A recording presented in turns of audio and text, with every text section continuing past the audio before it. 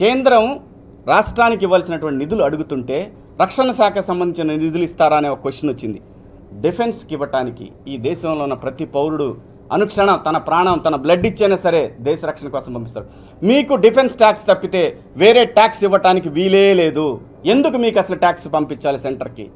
ఈ రాష్ట్ర పరిధిలో ఉన్నటువంటి రాష్ట్ర అవసరాలకు సంబంధించింది ఈ రాష్ట్రంలో కట్టినటువంటి పన్నులు ఈ రాష్ట్ర ప్రజలకు ఉపయోగపడాలి.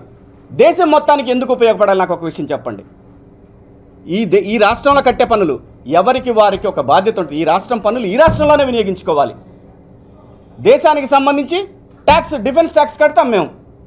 మీరు చేయాల్సేది ఒక్కటే కదా. ఈ దేశ రక్షణకు సంబంధించినటువంటి విషయాలే కదా. దానికి సంబంధించి ట్యాక్స్ తీసుకోండి.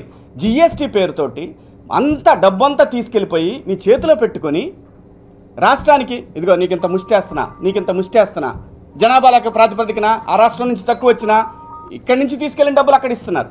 ఏమిటి అన్యాయం? ప్రపంచంలో మీరు మీ- ప్ర- మోడీ గారికి అమెరికా అంటే మహా ఇష్టం. మనకు తెలియకుండా కూడా గబకన వెళ్ళి వచ్చినా వెళ్ళి వచ్చేంత తొందరగా వెళ్ళేసి వస్తాడు ఆయన.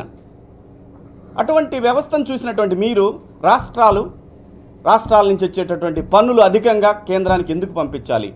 ఫెడరల్ ట్యాక్స్ ఒకటి మాత్రం తీసుకోండి. మీరు ఓన్లీ డిఫెన్స్ ట్యాక్స్ తీసుకోండి.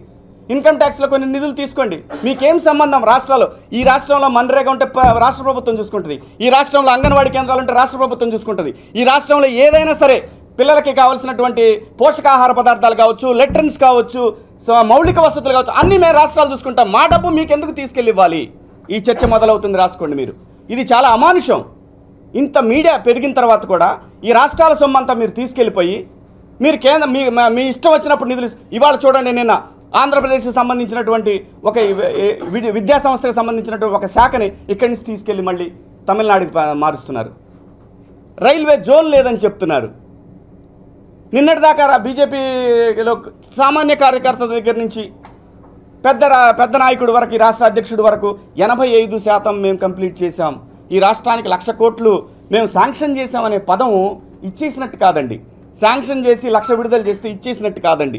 ఎనభై ఐదు శాతం ఏ విధంగా చేస్తే అంత పిచ్చోళ్ళండి ఇంతమంది కూర్చొని రాష్ట్ర ముఖ్యమంత్రి ప్రతిపక్ష నాయకుడు అందరూ చెప్తుంటే మీరు ఎనభై ఐదు శాతం పూర్తి చేస్తే ఎందుకండి మీరు ఈరోజు సమాధానం చెప్పుకోవాల్సి వచ్చింది? పని చేసినప్పుడు సమాధానం చెప్పుకోవాల్సిన అవసరం లేదు. దబాయిస్తున్నారు. మన దగ్గర మ్యాటర్ లేనప్పుడే మనం దబాయిస్తాం. సో ఈ దబాయింపులు ఇంకా చెల్లవండి. మీరు మనసు మార్చుకోండి.